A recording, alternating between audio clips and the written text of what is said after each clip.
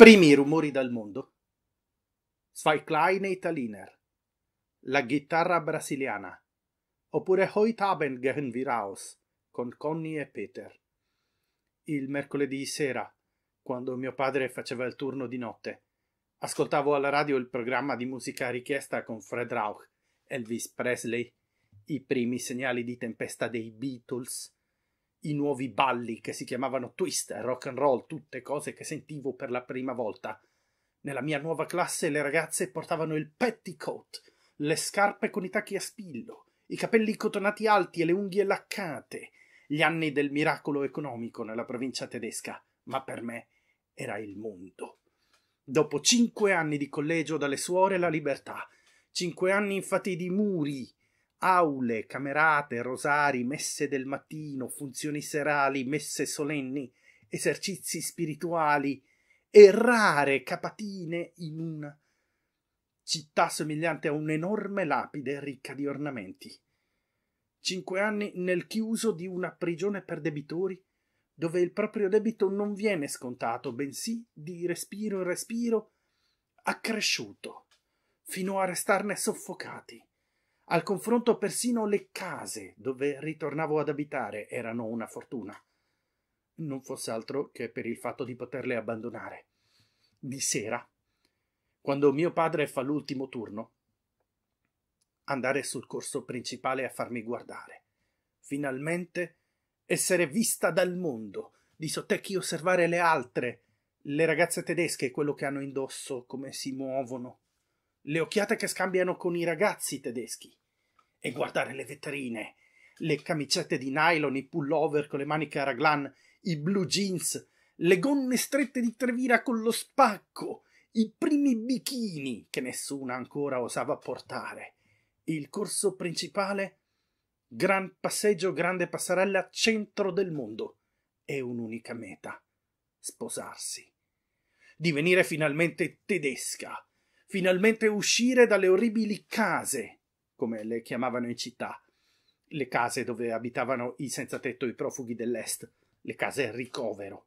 Finalmente fuori dai vestiti della Caritas e dai pacchidoni americani, fuori dalla mia orribile pelle russa. Dopo i sedici anni avevo sentito era permesso il matrimonio, e io sedici anni li avevo, ormai compiuti da sei mesi. Un solo sei sulla pagella aveva detto mio padre quando davanti allo specchio mi ero fatta la frangetta sulla fronte. Una fronte esageratamente alta e nuda, la storia intera della mia infanzia, una storia di sofferenza per questa mia sconcertante fronte russa che non volevo avere. Un solo sei sulla pagella, aveva detto mio padre, e ti ritrovi immediatamente in collegio. Avrei preferito morire piuttosto che ritornare in quelle segrete, in quei piombi dove si cade e si ricade tutto il giorno e persino nel sonno come in forza di pesi. Un unico cadere nel peccato fin dentro l'inferno. Ormai solo il matrimonio poteva salvarmi perché i sei sulla pagella. Lo sentivo. Non sarebbero mancati e fino alla sua consegna non rimanevano che poche settimane. Bentrovati e bentrovate. Proviamo a rinnovare il nostro appuntamento settimanale se ne avete voglia. Questo era l'incipit di Avrò vissuto un giorno di Natasha Vodin. Io sono Andrea, per chi non mi conosce, sono uno del circolo dei narratori di Bergamo e dalla scorsa primavera condivido testi letterari con chi vuole ascoltare. Per chi invece mi conosce dirò che sarà un po' diverso da come abbiamo condotto la cosa nella scorsa stagione, perché semplicemente quest'anno il sabato mattina io lavoro. E in generale quest'anno a scuola è piuttosto complicato e non è facile per me trovare un momento fisso della settimana in cui trovarci eh, insieme in diretta.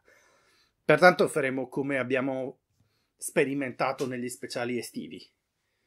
Io registro un video quando capita e lo carico e lo rendo pubblico a scadenza fissa il sabato alle 15. Proviamo a, vedere, a vederci il sabato alle 15.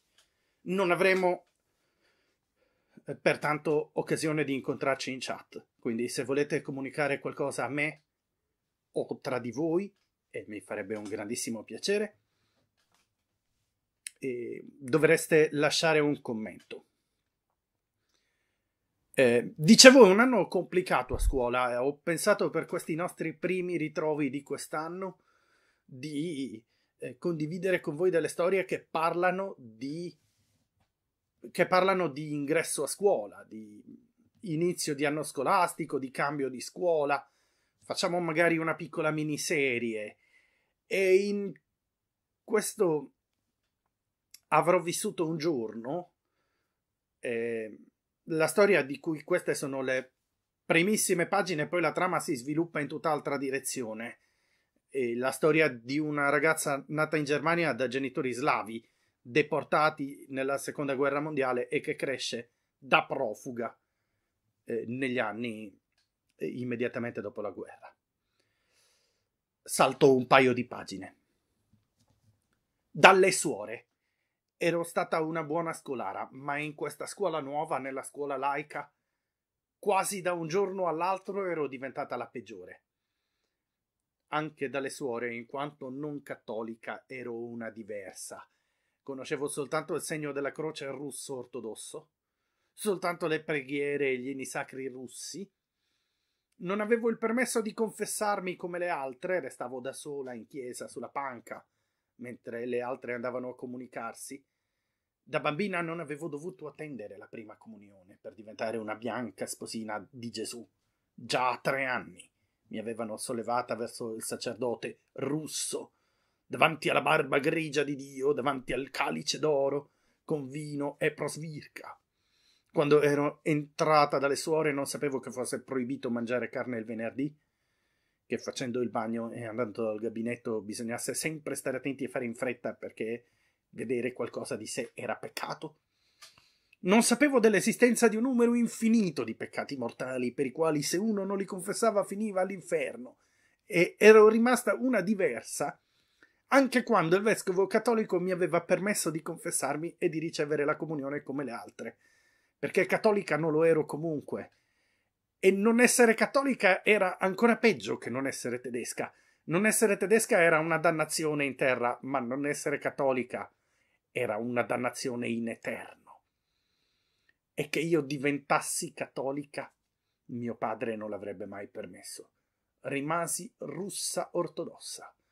E la confessione e la comunione, la messa del mattino nella cappella del convento, le funzioni mariane della Jakobskirche, la messa della domenica nel Duomo, come ogni giorno suore, dalle suore, erano solo una grazia che mi veniva concessa.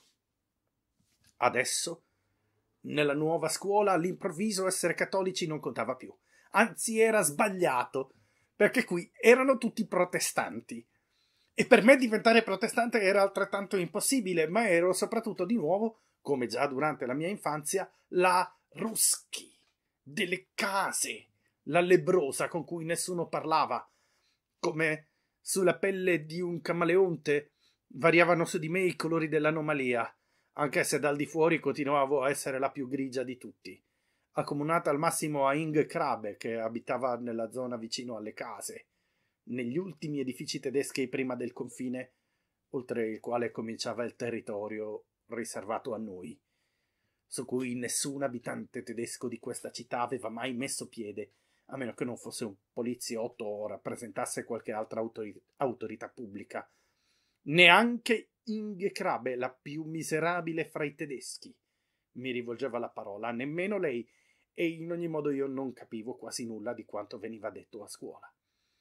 La, la mia incapacità di capire il tedesco eh, assumeva adesso in questo mondo nuovo e sconcertante dimensioni ancora più eclatanti che dalle suore, dove su ogni forma di realtà era disteso il velo del timor di Dio, dove anche in geografia, matematica, chimica eravamo giudicate più per il nostro grado di devozione che di sapere, il sapere delle cose terrene in cui erano sempre in agguato male e peccato, e i buoni voti dalle suore me li ero guadagnati più grazie alla mia ipocrisia che al sapere e allo studio. Adesso all'improvviso si trattava di matematica senza veli, di geografia e chimica senza veli. Non avevo mai sospettato che qualcosa del genere esistesse. E solo adesso mi accorgevo di tutto quello che dalle suore era stato tenuto nascosto. All'improvviso era come se ci fossero due lingue tedesche. Una cattolica e un'altra di un mondo a me completamente estraneo, inesplicabile, che mi precedeva, irraggiungibile, e in cui persino calcoli frazionari e date avevano un significato diverso che dalle suore. Mentre le parole dei romanzi e degli articoli di giornale, di cui si parlava nelle ore di tedesco, di educazione civica, non significavano per me quasi più nulla in assoluto.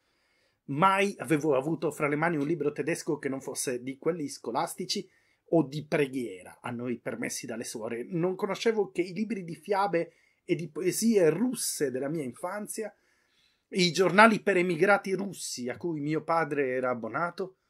Ma mentre dalle suore la mia estraneità alla lingua tedesca non si era mai fatta granché notare, o quantomeno era passata in secondo piano rispetto al fatto ben più grave di non essere cattolica, Qui era questa estraneità a prorompere da me in ogni circostanza come sintomo di una bizzarra malattia o mutazione. Non capivo la lingua degli insegnanti, non capivo la lingua degli alunni, né la lingua che tra loro parlavano i ragazzi, i ragazzi che all'improvviso mi stavano seduti accanto in classe, né la lingua delle ragazze, la lingua tra i ragazzi e le ragazze, la lingua tra gli allievi e gli insegnanti, che ci dicevano lei e signorina, all'improvviso ero adulta, mi davano del lei. Ma era come se soltanto la parte russa, infamante, fosse cresciuta e maturata in me, mentre quella che doveva diventare adulta e tedesca, una maturazione che aspettavo da sempre come l'inizio della vita, diventava sempre più piccola in me, sempre più si rimpiccioliva quando seduta nel banco, balbettando e arrossendo a ogni domanda, non capivo quello che mi chiedevano per sbaglio scattavo in piedi ogni volta che venivo interrogata, così come ero abituata a fare dalle suore. La risata divampante mi respingeva su, su, nel banco. E i sei sulla pagella, l'insufficienza su tutta la linea. Il dover tornare di nuovo dalle suore mi sembravano ormai un fatto ineluttabile. E come durante le messe del mattino nella cappella del convento, le funzioni mariane nella Jakobskirche e le messe domenicali nel Duomo, sedevo in un banco e qualcosa di terribile voleva uscire da me. Qualcosa dentro me era incontrollabile, conduceva una propria vita. Dalle suore era stato il riso, un riso immotivato su cui non avevo potere, che costantemente si raccoglieva dentro di me, mi risaliva per la gola in bolle gorgoglianti e a prova di una qualche verità su me stessa, a me ignota ma annientatrice, voleva scoppiare proprio quando erano pretesi massima serietà e solenne raccoglimento. Questa vicenda, tra l'altro abbastanza poco raccontata, quella dei deportati russi e in generale dell'Europa dell'Est, la famiglia della protagonista è una famiglia mista russo-ucraina. È ovviamente un caso molto particolare, ma credo che esso restituisca una realtà che invece, se non universale, almeno molto comune, che vedo molto tra le mie e i miei studenti. Parlo della sensazione di essere in un mondo estraneo, della condizione di sentirsi costantemente giudicati non solo per il razzismo, che comunque non manca, ma proprio per un carattere intrinseco della realtà, una realtà estranea della quale non padroneggi le regole. Una realtà che è orribile, ma che in qualche modo anche un privilegio, privilegio del quale devi continuamente dimostrarti degno. Ci potrebbero essere cento dei miei alunni e alunne al posto di questa ragazza, con questa identità divisa e la parte che cresce non è quella giusta. In questo caso la parte profuga cresce e la parte che dovrebbe diventare adulta, quella tedesca, non cresce. E, e ogni volta che mi viene voglia di prenderli a schiaffi i miei alunni e alunne, e vi assicuro che succede spesso mi ricordo tra le altre cose di questo romanzo. Una mortificazione simile sembrava incombere su di me anche ora, mentre stavo seduta nel banco di scuola, e il liquido insidioso cominciava a raccogliersi nel mio bacino, come a suo tempo il riso in gola.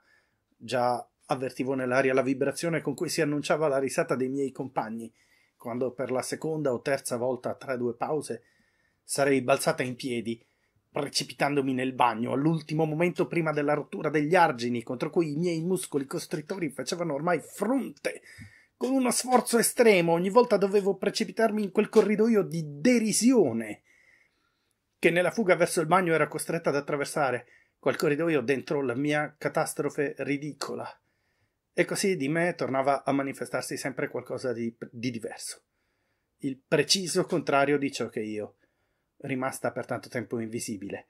Sentivo di dover mostrare immediatamente, improrogabilmente al mondo. Dovevo mostrare di essere come tutti gli altri, di essere una di loro, tedesca e adulta, che valeva la pena amarmi. Ah, ecco, e devo ricordarmi questa storia le cento volte al giorno che chiedono di usare i servizi igienici.